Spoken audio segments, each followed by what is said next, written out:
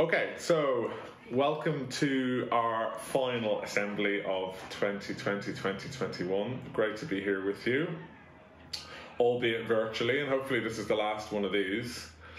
Um, I'm going to talk to you about Marie Curie today, just to kind of give us a theme, because our Curie chapter, which is, of course, mostly associated with our sixth form uh, and we should talk more about our sixth form, really. So I'm keen to talk about these chapters. Uh, I didn't name this chapter Curie. We, this this has been here since the academy opened. Maybe some of the teachers that have been here a while will tell you why.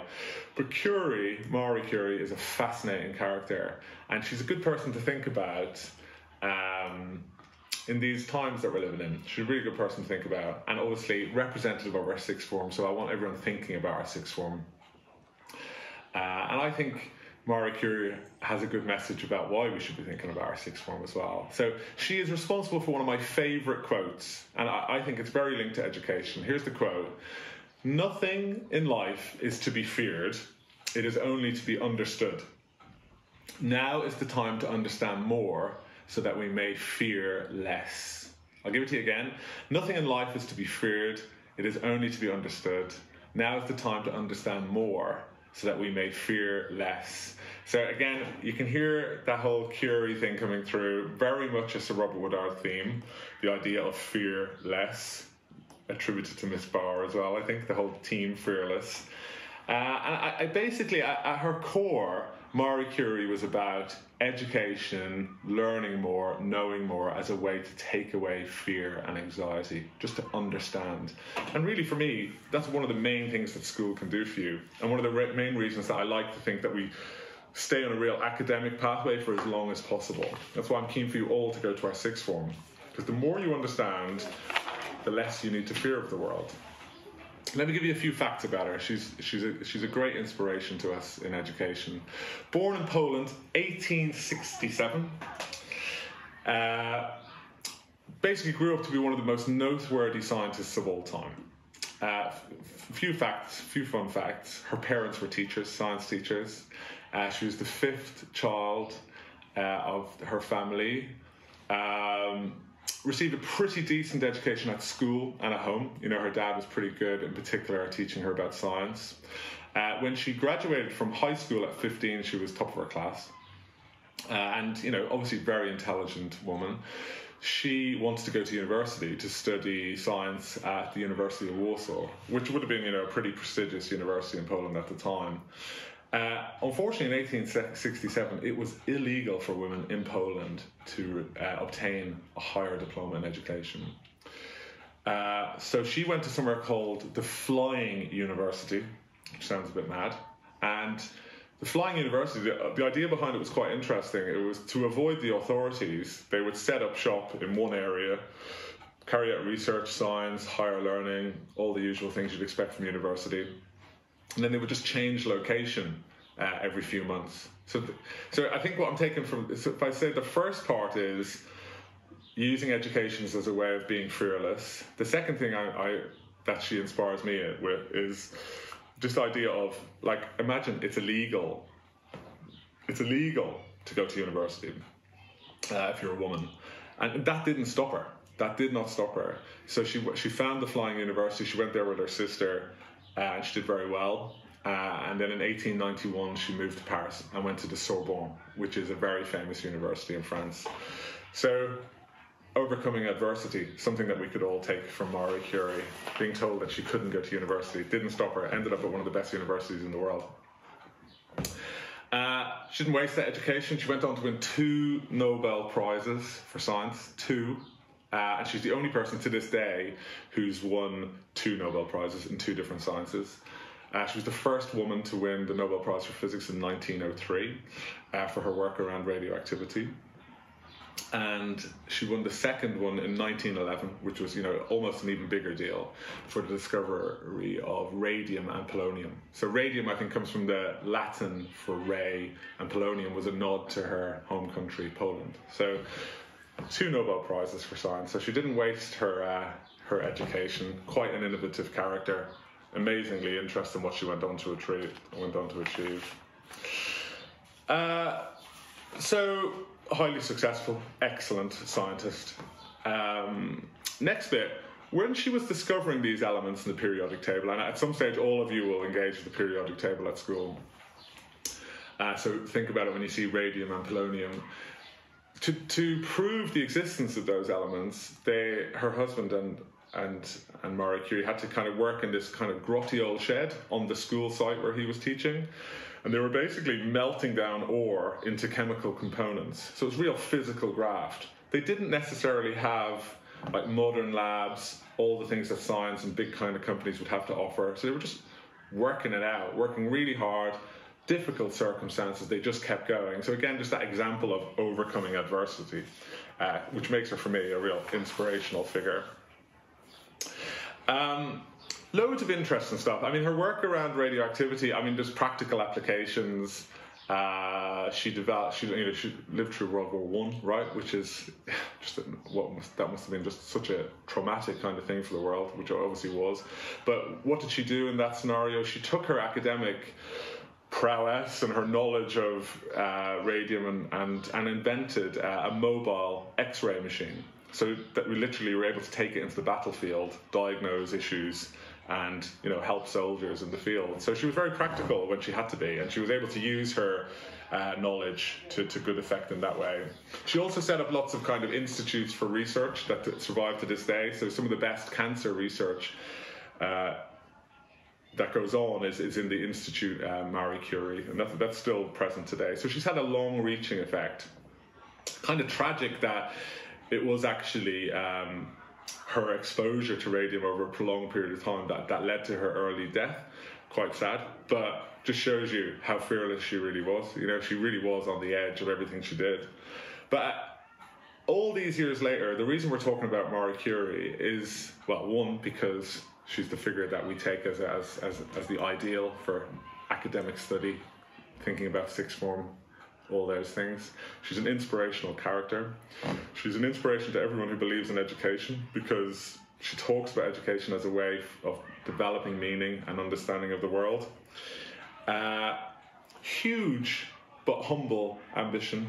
You know, like what she achieved in her lifetime is absolutely incredible. And there's two things really there the hard work and really the ability to overcome adversity the ability to overcome adversity. So I think we've had a little taste this year of someone saying, we're going to take things away from you. And in our own small way, we've overcome adversity big time at this school this year. We've kept our education going. Your attendance online throughout the lockdowns has been nothing short of inspirational. So I hope uh, there's a little bit of Curie in the building. Certainly, that spirit has been shown by all of you this year. Um, so that's just a little bit more about Marie Curie.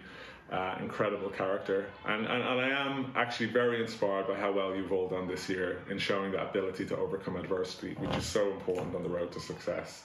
So nothing more to say from me other than have a great summer.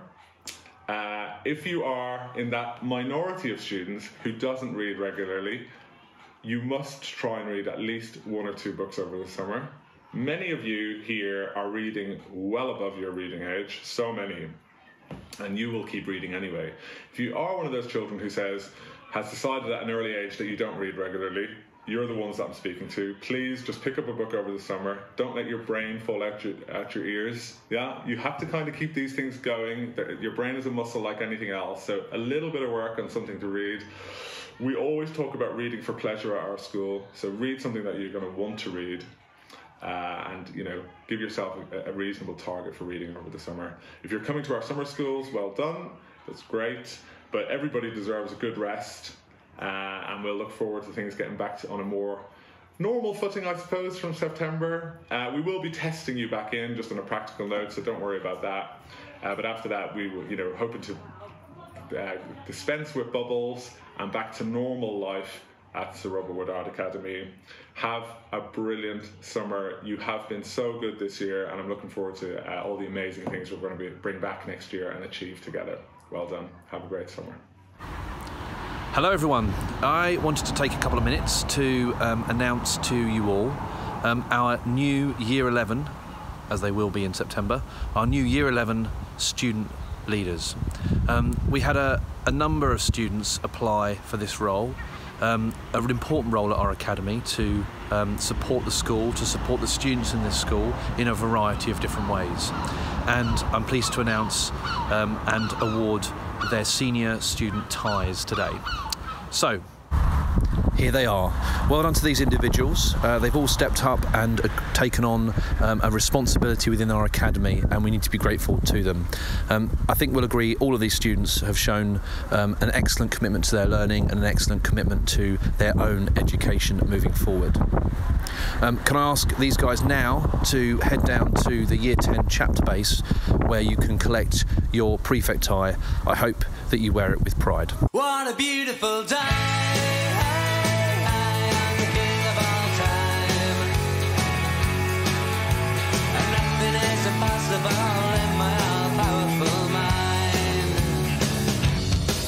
Was on the 5th of November when the time it went back. Well, some say that that's impossible, but you and I would never look back. And wasn't it incredible? So beautiful and above all, just to see the fuse get lit this time to light a real bonfire for all time. And what a beautiful day!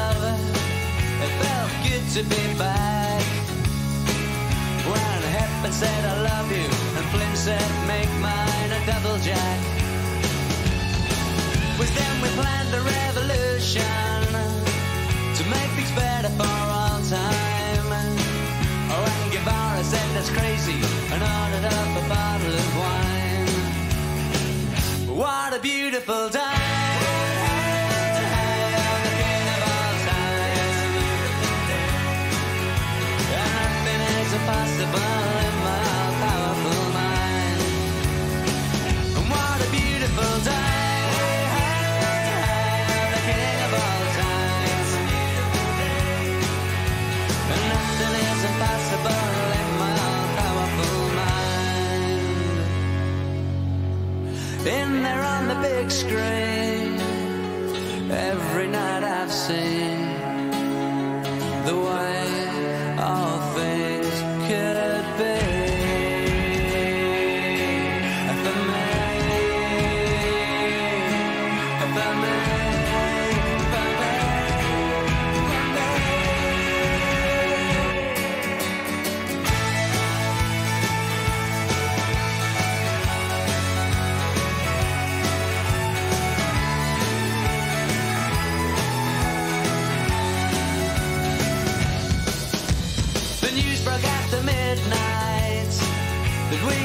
the temples down without a sound. But the generals, they were hiding out, the ministers, well, they'd all gone to ground. Wealth redistribution became the new solution. So I got a paper bag, but you got the one with all the holes. And what a beautiful day!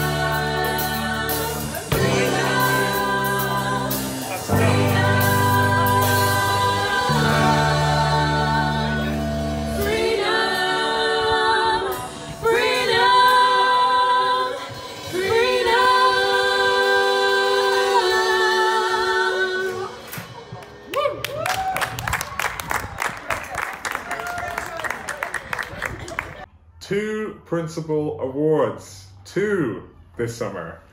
Um, first one is just going back to my Marie Curie, that little bit extra, uh, overcoming adversity and just being curious. The first one goes to a year eight student who uh, knows how much she did in terms of a very difficult workshop we did around um, public speaking and debating. Kind of just went that extra mile and solved a very complicated crossword. So, Amy Saunders in year eight, uh, well done to you. You definitely get my principal's re- reward for Key Stage 3. Uh, you've done exceptionally well this year, and I've been asking about you in all of your lessons, incredibly good. Uh, and then my second uh, head teacher's award goes to somebody who uh, is having a massive impact on the school just through sheer leadership uh, qualities and potential, really thinking about others and how they can make the school a better place and stepping up in that regard. So Lewis Power, really impressed with you this year. You've had a you've had a great year. You've got enormous potential. And what I like most about you, Lewis, what, what I find most impressive is just how much you think about your fellow students and want to improve things for them. And that's just an enormous uh, attribute. It's a, a real sign of leadership. So well done, Lewis, and well done, Amy. Have a great summer. Thanks. Hello everybody. I'd like to take a minute quickly just to introduce myself. My name's Lewis, I'm a Year 13 student at W6 and beginning next year I'm going to be the head student. So as I'm sure many of you are aware, there have been some hefty changes to the student leadership within the Academy, including the addition of a student council as well as student representatives of each year. Now, whilst these changes may seem daunting at first, they're a great opportunity for us students, allowing our voice to be heard within the Academy and to those in more senior positions and it's my honour as head student to play a role in these changes, representing the ideas, needs and desires of the student body and ensuring our voice is heard. I've been at the Academy for six years now and I can honestly say it's been a great experience and nobody has forced me to say this. But from the teaching to the facilities it's just been great and I know that together we can make it better and hopefully get everybody to share that view. Anyway, that's me. I just wanted to quickly introduce myself. Hopefully, I haven't rambled on too much, but I can't wait to see you guys in person and work together to make the Academy a better place. What keeps us healthy and happy as we go through life? If you're going to invest now in your future self, where would you put your time and energy? There was a survey of recently of millennials asking them what their most important life goals were. Over 80% said a major life goal was for them to be rich. Another 50% of those same young people said that another major life goal was to become famous. Welcome to my happy place. Outdoors, nature, the sound of birds in the trees, bit of peace. Today we're told to work hard and to push hard and to achieve more. And we're given the impression that these things uh, are the things that will give us a good and healthy life. But imagine if you could watch entire lives as they unfolded through time.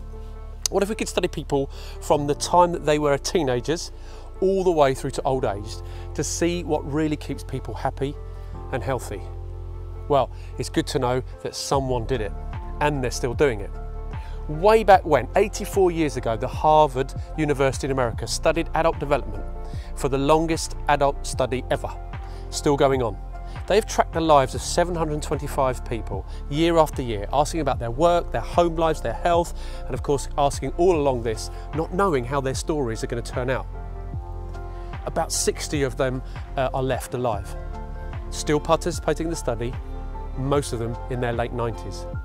When they entered the study, all of these people way back then in the 30s were as teenagers were interviewed. They were given medical exams. They went to their homes and interviewed their parents. And then these teenagers grew up into adults who entered all walks of life. Some became factory workers, others doctors, bricklayers, lawyers. One of them even became the President of the United States. Some developed a dependency on alcohol, some developed major mental health illnesses, some climbed the social ladder from the bottom all the way to the top, bearing in mind they came from different aspects of society, and some made the journey from the top to the bottom. And every two years, people were sent forms, researchers went round to visit and asked them questions about their lives. What have they learnt? All these years? What are the lessons that have come out of 10,000 pages of information on all this data that's been generated about these lives? Is it about wealth or fame? It wasn't. Was it about striving to work harder and harder that kept them healthy and kept them happier? It wasn't. There are three main messages from this stu- study that I believe that we could embrace. And the core heading of this is good relationships keep us happier and healthier. Full stop. They learned three lessons about relationships. They learned that the first is social connections are really good for us. May, may seem like, yeah, we know that. But do we? Do we know that the people we're with, the ones that make us laugh, the ones we're honest with, the ones that encourage us, actually help us be happier and live longer? Because they discovered loneliness actually kills. It turns out that people who are more socially connected to family or to friends or to a community are happier. They're physically healthier. They live longer than people that are less, well connected. And the experience of loneliness turns out to be toxic and poisonous. People who are more isolated than they want to be from others find that they are less happy, their health declines earlier, and their brain function starts to decline and they live shorter lives. The sad fact is that at any given time, more than one in five people will report that they're lonely. We can be lonely in a crowd, of course, and you can be lonely in a relationship. So, the second big lesson that they learned was it's not just the number of friends you have, and it's not just whether or not you're in a committed relationship, but it's the quality of those close relationships that matters. Those people whose head you put on your shoulder, who you will tearfully explain some of your pain with, those people that you trust, those people that make you laugh. In situations where there's no affection, there's continual conflict in relationships, in friendships, is bad for our health living in the midst of good, warm relationships is protective. Maybe that's why we feel so down when we row and we have bitter arguments. And the final big lesson they learned about relationships and health is that good relationships, they don't just protect our bodies, they protect our brains. And we're discovering so much more about our brains. Being in a securely attached relationship to another person in your 80s, they found, is protecting people who are in those relationships, knowing that they can count on somebody else in a time of need these people, when they tested their memories, were sharper and they lasted longer. It's relationships where people they couldn't count on each other. Those were the people, and they did it for CAT scans of the brain, where memory memory started to decline. Those good relationships don't have to be smooth all the time, but it's knowing there's someone there. It's knowing that you can reach out to someone. If you can count on someone when the going gets tough, those people brought on an increased improvement in memory and mental health. So, all that survey, all that energy, following people's lives into their 90s, we can genuinely now say we know that relationships, good, close relationships, are great for our health. They're great for our well, uh, well-being. And it's as wisdom as all the hills, but why don't we get it sometimes? Well, we're human. We want the quick flick fix. We want something sorted now, something that will make our lives good and instant straight away. But of course, relationships are messy, they're complicated, and they're hard work. We need to learn to lean into our friendships lean into our family, lean into our friends and our community. That means go to them for support, go to them for encouragement, go for them to them help. And of course, we've got to flip that. We need to be there for our friends, for our family. Be patient, be listeners, be encouragers. So, what can we do? We might have to reduce our screen time to hang out with people more face to face. We might liven up some of the relationships we're in by doing something different, something new, longer walks, date nights, conversations, swimming in the sea, maybe ringing up a family member you haven't seen for years. Because those family feuds that are in our history, they can take a terrible toll on those that hold grudges against other people. Life is short. Bickering and bitterness, hate and hurt has now been proven to make life shorter trusting and calling out on friends and family, spending time listening to each other, laughing together, walking together, being, not just doing, are not only good for today, but they are so, so good for tomorrow and a longer tomorrow. This year has been so hard for so many. Maybe we've got close to people and so we can find some good in all this pain. Maybe we feel lonely and full of fear but this summer is a chance to reach out for help, to meet up and hang out with family and with friends. Some of you will be organisers and will call together groups. Others of you will be turner uppers and enjoy what's been organised. But this is our chance this summer to learn from all of the pain of this year and to convert that into an opportunity to laugh together, to be honest together, to build even stronger and greater relationships with each other so that we can come back in September with good foundations, recognizing that we need to forgive more, we need to be hopeful more often, and we need to put our trust in the friends and the family that are around us. I read this study and I've been studying this study, finding out fascinating things. And I've always had a mantra, three F's mantra, that, that make up my life. And, and, I, and I'll leave this with you as you go on to your summer holidays. For me, the most important things in my life are my family, the first F, my incredible friends that I have the privilege of hanging out with, and then for me, my faith, a faith which is about a relationship. I hope and pray this summer you'll make some great relationships. You'll develop even stronger uh, relationships with your family and trust and that you will know that you're investing in some really important thing like relationships for a stronger, healthier and happier future. God bless your summer, have the most amazing break, you deserve it, and I look forward to seeing you all in September. Take care.